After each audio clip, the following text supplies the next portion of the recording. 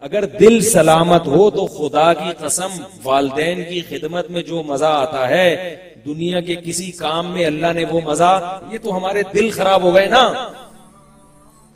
بوڑھی ماں آپ کے گھر کے علاوہ کسی اور کے گھر میں رہ لے، دوسرے بھائی کی کیسے برداشت ہوتا ہے بھائی؟ ماں ہے بھائی، ہمارے گھر میں رہے گی۔ میں نے بتایا تھا نا، سعودی عرب میں جھگڑا ہو گیا تھا اس کے ماں بوڑھی ہو گئی، ایک بیٹا ادھر رہتا ہے، ایک دوسرا بیٹا ادھر رہتا ہے۔ ایک بیٹا کہہ رہا ہے، بوڑھی ماں میرے ساتھ رہے گی۔ دوسرا بیٹا کہہ رہا ہے، بوڑھی ماں، بھائی گھر میں اگر بوڑھا باپ نہ ہونا اور بوڑھی ماں نہ ہو، وہ گھر کم ہے، ہوٹل زیادہ ہے۔ گھر بنتا کس سے ہے؟ ماں باپ سے۔ اگر گھر میں والدین نہیں ہیں، تو وہ گھر گھر نہیں۔ والدین وہ ذات ہوتے ہیں جو بھائی بہنوں کو جمع کر دیتے ہیں۔ اگر والدین نہ ہو تو بھائی بہنوں کا بھی رشتہ آہستہ آہستہ کمزور ہونا شروع ہو جائے اس لیے اللہ نے جن لوگوں کو والدین کی نعمت سے نوازا ہے نا، تو اس نعمت کی قدر کرو۔ اس نعمت کی قدر کرو۔ نبی صلی اللہ علیہ وسلم نے ارشاد فرمایا کہ اس شخص پر اللہ کی لانت ہے۔ جس کو بوڑھے والدین میں سے دونوں یا کوئی ایک ملا، اور اس نے ان والدین کی خدمت کر کے جنت اپنے اوپر واجب نہ کر لی اتنا بہترین آپشن اللہ نے جنت کمانے کا دیا تھا، اور اس نے یہ آپشن ظاہر کر دیا۔ کسی بزرگ کی خدمت میں وہ اللہ نے ثواب نہیں رکھا، جو ثواب اللہ تعالیٰ نے والدین کی خدمت میں رکھا ہے۔ میرے نانا انتقال ہو گیا، اللہ ان کی مغفرت فرمائے۔ حضرت مولانا عبد الرحیم رائے پوری رحمہ اللہ تعالی، جو ہندوستان کے بہت بڑے بزرگ گزرے ہیں، ان کی خدمت میں گئے اور عرض کیا کہ حضرت آپ کے پاس آیا ہوں آپ سے دعا کروانے کے لیے۔ کیوں آیا ہوں؟ دعا کروانے کے لیے۔ تو میں نے اپنے نانا سے خود سنا فرمایا کہ مولانا عبد الرحیم رائے پوری رحمہ اللہ تعالی نے فرمایا کہ تمہارے والدین زندہ ہیں۔ فرمایا ہاں۔ فرمایا پھر میرے پاس آنے کی کیا ضرورت سمجھ میں آ رہی ہے بات؟ پھر میرے پاس آنے کی کیا ضرورت ہے؟ ان کی خدمت کر کے ان سے دعا، ان سے دعا لو۔ تو اس لیے یہ بات خوب اچھی طرح ذہن میں رکھیں۔ کہ والدین کسی کے اگر گھر میں موجود ہوں تو اس سے بڑا سرمایہ، اس سے بڑا سرمایہ نہیں ہے کسی کے پاس۔ تو دل بھی چاہتا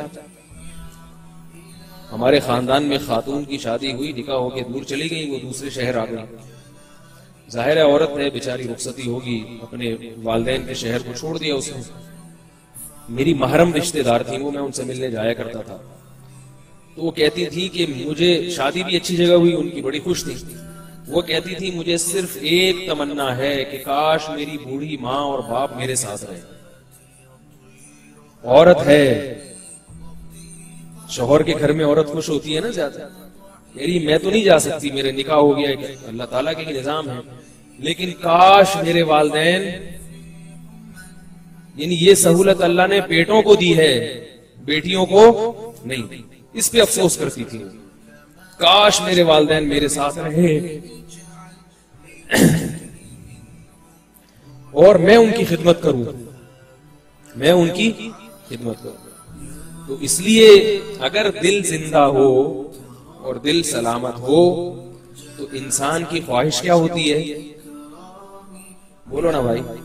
حسن بصری کہہ رہے ہیں، میری ماں اور میرے باپ کی صورت میں میرے لیے جنت کے دو دروازے کھلے تھے۔ اور ایک کی بات ہونے سے آج جنت کے دروازہ بند ہو ماں باپ کی خدمت، ماں باپ کی شان پوچھنی ہے تو ان سے پوچھئے جن کی سر سے یہ بات ڈھک چکا جو ترستے ہیں، کاش ہم اپنے باپ کی شکل میں دیکھ سکتے۔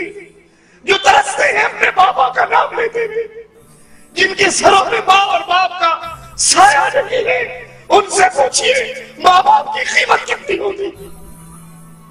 حسن بصری کہتے ہیں، یہ جنت کے دو دروازے کھلے تھے۔ میں ماں کی خدمت کر کے، میں اپنے باپ کی خدمت کر کے اللہ کی جنت میں داخل ہو سکتا تھا۔ آج ماں کے مرنے سے میرے لیے ماں نہیں مری میرے لیے ماں نہیں مری میرے لیے جنت کا ایک دروازہ بند ہو گیا ہے۔ اب جنت میں جانے کے لیے میرے پاس صرف ایک ہی دروازہ۔ ہے ماں باپ کی موجودگی کو اللہ کی رحمت سمجھیے۔ اس کو غنیمت جانیے۔ اس کو غنیمت جانیے۔ اللہ کی قسم کھا کر کہتا ہوں، دنیا کی ہر چیز انسان کو مل سکتی ہے۔ ماں باپ کی نعمت گزر جانے کے بعد دوبارہ نہیں مل سکتی۔ اپنی بیویوں کے لیے ماں پر ٹھوکرے مارنے والوں، اپنی بیویوں کے لیے ماں سے ناراض ہونے والوں، تم ایک بیوی کو طلاق دے دو، دوسری بیوی مل جائے گی۔ اولاد کو چھوڑ دو، اور اولاد مل جائے گی۔ مال برباد ہوتا ہے، اور مال مل جائے گا۔ لیکن اگر ماں کا سایہ اٹھ گیا، ساری عمر تڑپتے گزر جائے گی۔ ماں دوبارہ نصیب